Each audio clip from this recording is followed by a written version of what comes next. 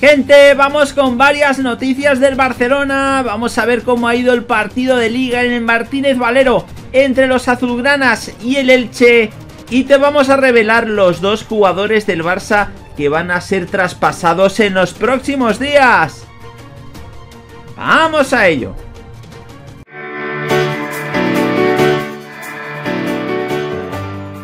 Hola de nuevo chicos, ¿cómo estáis? Bienvenidos de nuevo otro vídeo para el canal. Vamos a analizar la última hora del Fútbol Club Barcelona en este domingo de partido de liga. Por tanto, te animamos a que te quedes hasta el final del vídeo y a que nos dejes un buen like. Vamos sin más dilación a analizar la primera noticia y vamos a ver cómo la Lazio está interesada en uno de los centrales del Fútbol Club Barcelona. Según los informes, la Lazio rechazó la oportunidad de fichar al ex defensa del Arsenal Socratis Papatsopoulos a favor de fichar a la estrella del Barcelona Jean-Claude Todibo. Todibo de 21 años de edad se unió al Barcelona en 2019 después de dejar el Toulouse francés en un acuerdo por valor de 900.000 euros, según Transfermarkt. En un intento por continuar con su impresionante desarrollo, el joven defensa francés fue cedido por un breve periodo en el Schalke 04 antes de unirse al Benfica de la Liga NOS al comienzo de la temporada 2021, también cedido. A pesar de estar altamente calificado entre los clubes de Europa, el jugador de 21 años ha tenido problemas para asegurarse un lugar en el Benfica después de que hasta ahora solo haya hecho dos apariciones en todas las competiciones. No ha logrado competir ante Nicolás Otamendi y Jan Bertogen. Sin embargo, a pesar de su falta de tiempo de juego, eso no ha impedido que los clubes de Europa analicen la disponibilidad del francés. Según un informe reciente del Corriere dello Sport, un club que considera seriamente al joven es el Lazio de la Serie A italiana, dado que la Lazio carece gravemente de calidad en lo que respecta a sus opciones defensivas, hay sugerencias de que el club podría centrar su atención en la estrella desfavorecida del Barcelona para la segunda parte de la temporada. Existe un consenso general en Italia de que si alguien puede reavivar la estancada carrera del joven es el técnico de la Lazio Simone Inzaghi, que ha demostrado en varias ocasiones que sabe sacar lo mejor de sus jugadores y que es un entrenador capaz de darle ese plus competitivo a un talento que pese a no tener minutos está más que calificado para jugar en la élite. Por tanto, chicos, sería una gran opción para el Fútbol Club Barcelona poder ceder a Todibón Lazio. Vamos ahora a hablar, chicos, de otro de los centrales de Climent Lenglet y es que ha dado un paso atrás en estos partidos que llevamos de temporada. El Barça vive un momento de muchas dudas, aunque en cierto modo toda la temporada ha sido bastante similar. Y es que pese a victorias más o menos interesantes y brotes verdes, la realidad es que el equipo es poco fiable, especialmente en citas grandes o ante rivales de entidad que le complican las cosas. La falta de solidez defensiva es el principal lastre y en ella hay señalados claros. Uno de ellos es Lenglet, llamado a liderar la retaguardia y todavía con mayor ahínco, dada la ausencia de Gerard Piqué, el francés no ha terminado de tener la regularidad esperada y ha cometido fallos señalables.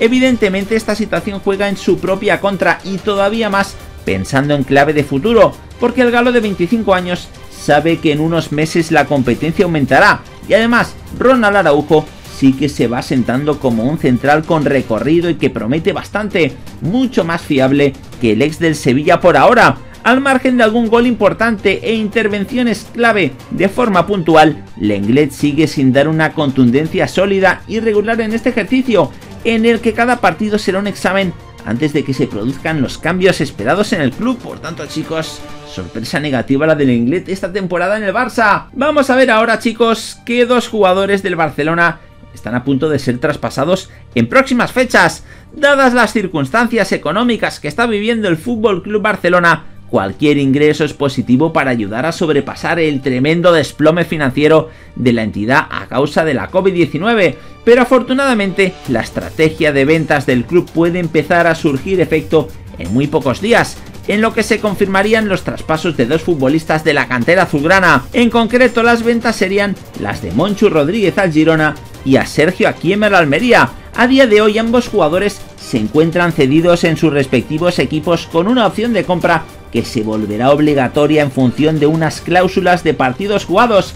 En concreto las cifras que deben alcanzar son de 22 partidos jugados y ambos futbolistas están muy cerca de alcanzarlos. A día de hoy Moncho Rodríguez lleva 21 partidos jugados con el Girona y si juega uno más activará la compra obligatoria por parte del club catalán. El traspaso está cifrado en 3.5 millones de euros, por lo que el Barça está muy cerca de asegurarse dicha cifra. El centrocampista balear es fijo en el conjunto gerundense y proporcionará una interesante inyección de dinero a las arcas culés. En una situación muy parecida está Sergio Aquieme en el Almería, ya que ha disputado 17 partidos y su cláusula de compra obligatoria se activa con exactamente los mismos encuentros que Monchu, es decir, con 5 partidos más. El lateral será del club andaluz en propiedad, por lo que el FC Barcelona ingresará exactamente la misma cifra que por el Balear, 3 millones y medio de euros. Así las cosas, el Barça ingresará 7 millones de euros que supondrán una bombona de oxígeno para la economía del club.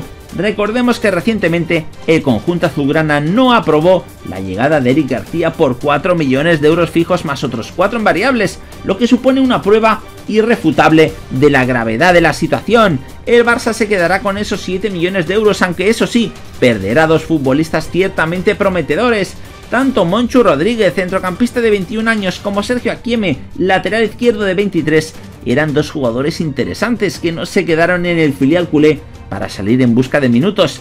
Ahora, para su beneficio, ya los tienen y en el Camp Nou encantados de que así sea. Por tanto, chicos, 7 millones de euros será lo que recaude el Barcelona por estos dos jugadores. Vamos sin más dilación, chicos, a ver cómo ha ido el partido de hoy en el Martínez Valero en Elche. Victoria del Barcelona, 0 goles a 2. Victoria importantísima en la liga. Se adelantó el Barcelona por medio de Frenkie de Jong en el minuto 39 de partido. Gran noticia porque el holandés sigue viendo puerta en estos últimos partidos. El marcador en el minuto 89 con el 0-2. Vamos a ver qué equipo ha sacado Ronald Koeman en el Martínez Valero con marca André Ter Stegen en portería.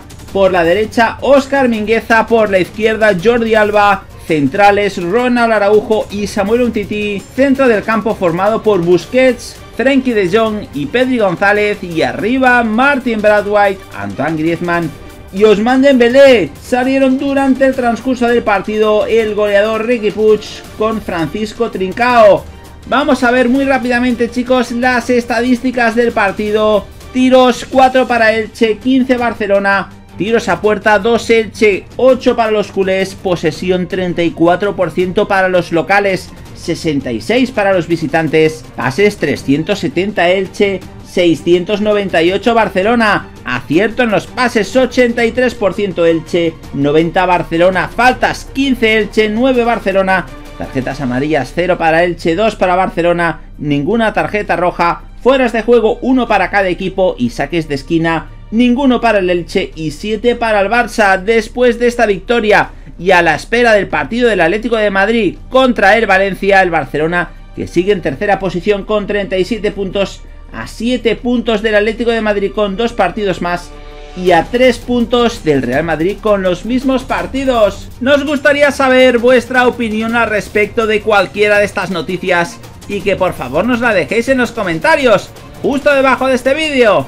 Nada más por el momento, como siempre animaros a dejar un buen like al vídeo, a suscribiros al canal si no lo habéis hecho y a darle a la campanita de notificaciones.